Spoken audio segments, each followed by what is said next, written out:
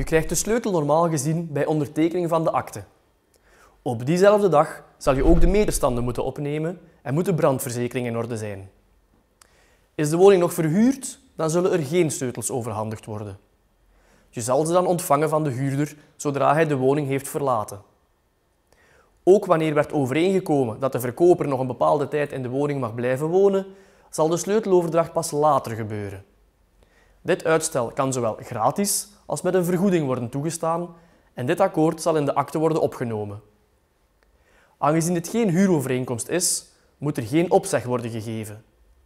Is dit voor een langere periode, dan wordt er best ook een plaatsbeschrijving opgemaakt. Let wel op indien de verkoper langer dan één maand gratis mag blijven wonen, want dan moet de koper hierop bijkomende registratiebelasting betalen. Het kan ook zijn dat de koper reeds voor de akte de sleutels krijgt. Er wordt dan best een sleutelovereenkomst opgemaakt. Hierin wordt bepaald dat de koper reeds vanaf dat moment het bewonersrisico heeft en zich dus moet verzekeren. Bovendien worden de meterstanden opgenomen. En er wordt ook best opgenomen of de koper al of niet bepaalde werken mag uitvoeren. Het is aan te raden om na de aankoop nieuwe sloten te steken. Toch minstens op de buitendeuren.